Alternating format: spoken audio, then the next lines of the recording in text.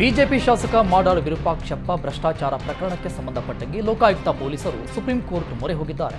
ಮಾಡಾಳ್ ಮಧ್ಯಂತರ ನಿರೀಕ್ಷಣಾ ಜಾಮೀನನ್ನು ರದ್ದು ಮಾಡುವಂತೆ ಕೋರಿ ಅರ್ಜಿ ಸಲ್ಲಿಸಿದ್ದಾರೆ. ಹೈಕೋರ್ಟ್ ಆದೇಶ ಪ್ರಶ್ನಿಸಿ ಅರ್ಜಿ ಸಲ್ಲಿಸಲಾಗಿದ್ದು, ನಾಳೆ ಅರ್ಜಿ ವಿಚಾರಣೆಗೆ ಬರುವ ಸಾಧ್ಯತೆ ಇದೆ.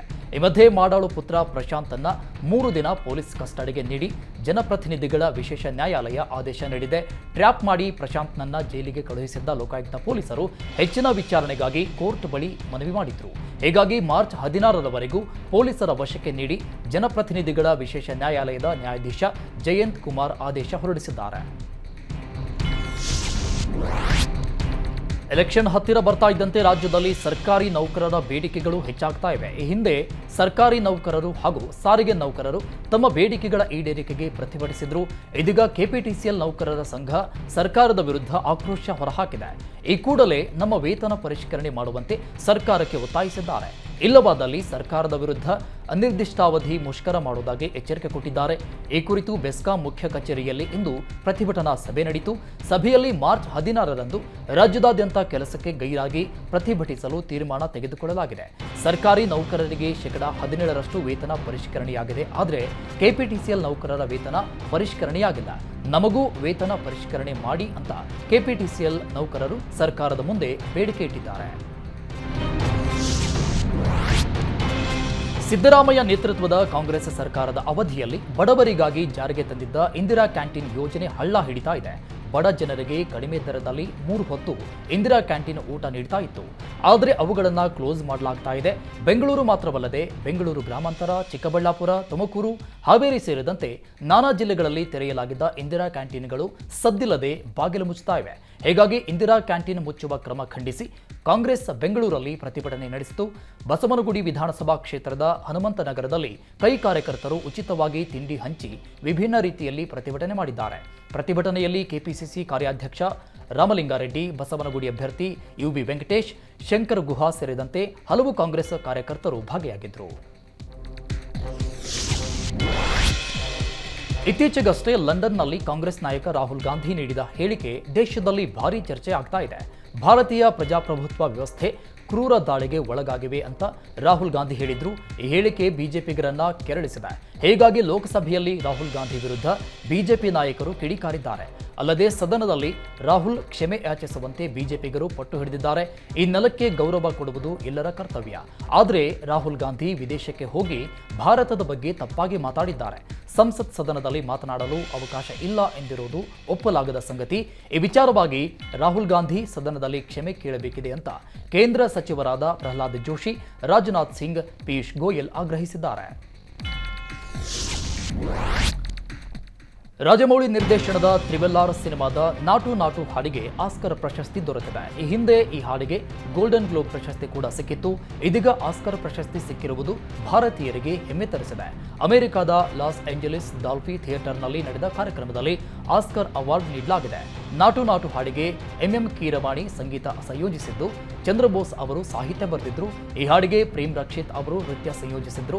ಇದು ದೊಡ್ಡ ಮಟ್ಟದಲ್ಲಿ ಹಿಟ್ ಆಗಿತ್ತು ನಾಟು ನಾಟು ಹಾಡಿಗೆ ಪ್ರಶಸ್ತಿ ಘೋಷಣೆ ಆಗುತ್ತಿದ್ದಂತೆಯೇ ಸಭಾಂಗಣದ ತುಂಬ ಚಪ್ಪಾಳಿಯ ಸದ್ದು ಜೋರಾಗಿತ್ತು. ಭಾರತದಲ್ಲೂ ರಾಮ್ ಚರಣ್ ಮತ್ತು ಜೂನಿಯರ್ ಎನ್ಟಿಆರ್ ಅಭಿಮಾನಿಗಳು ಪಟಾಕಿ ಸಿಡಿಸಿ ಸಂಭ್ರಮಿಸಿದ್ದಾರೆ. ಇನ್ನು ಸಾಕ್ಷ್ಯಚಿತ್ರ ವಿಭಾಗದಲ್ಲಿ ಭಾರತದ ಎಲಿಫೆಂಟ್ ವಿಸ್ಪರ್ಸ್ಗೆ ಆಸ್ಕರ್ ಪ್ರಶಸ್ತಿ ಸಿಕ್ಕಿದೆ. ತ್ರಿಬಲಾರ್ ಸಿನಿಮಾಗೆ ಆಸ್ಕರ್ ಅವಾರ್ಡ್ ಸಿಕ್ಕಿದ್ದಕ್ಕೆ ಪ್ರಧಾನಿ ನರೇಂದ್ರ ಅಭಿನಂದನೆ ಸಲ್ಲಿಸಿದ್ದಾರೆ. ವಿಧಾನಸಭಾ ಚುನಾವಣೆಯ ಪ್ರಚಾರಕ್ಕಾಗಿ ಅಸ್ಸಾಂ ಸಿಎಂ ಹೇಮಂತ್ ಬಿಸ್ವಾ ಶರ್ಮಾ ಇಂದು ಕೊಪ್ಪಳಕ್ಕೆ ಭೇಟಿ ನೀಡಿದ್ರು. ಗವಿಸಿದ್ದೇಶ್ವರ ಶ್ರೀಗಳ ಆಶೀರ್ವಾದ ಪಡೆದ ಬಳಿಕ ಅಭಿನವ ಗವಿಸಿದ್ದೇಶ್ವರ ಸ್ವಾಮೀಜಿಯೊಂದಿಗೆ ಕೆಲ ಹೊತ್ತು ಚರ್ಚೆ ನಡೆಸಿದ್ರು.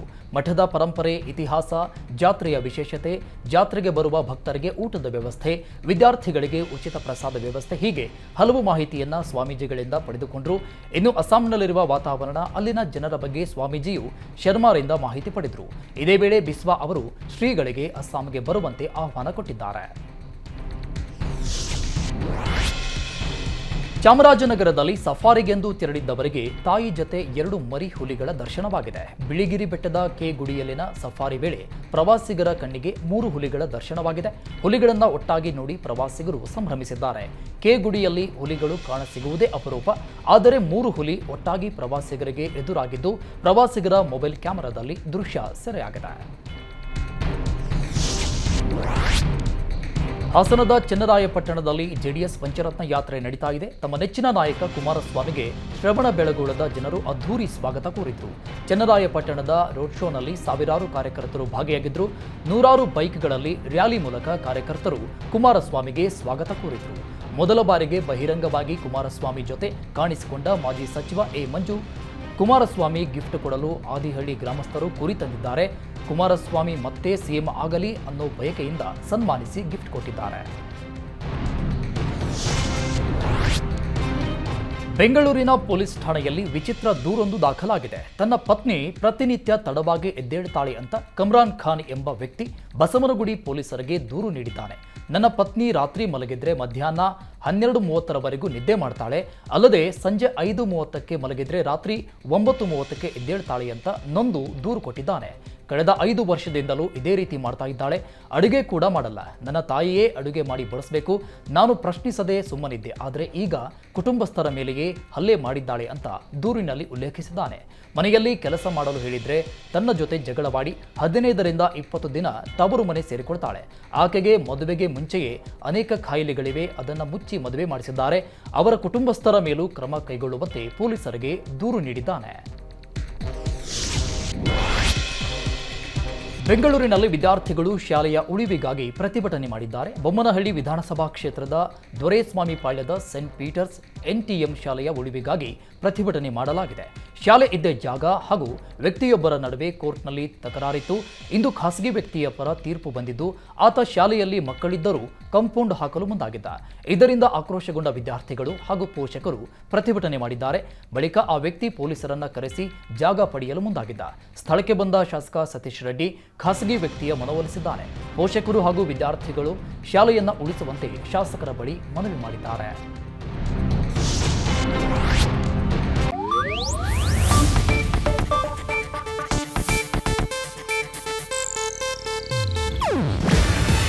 ಇದು ಏಷ್ಯಾನೆಟ್ ನ್ಯೂಸ್ ನೆಟ್ವರ್ಕ್ ಪ್ರಸ್ತುತಿ. ನೀವು ನೋಡ್ತಿದ್ದೀರಾ ಏಷ್ಯಾ ನೆಟ್ ಸುವರ್ಣ ನ್ಯೂಸ್.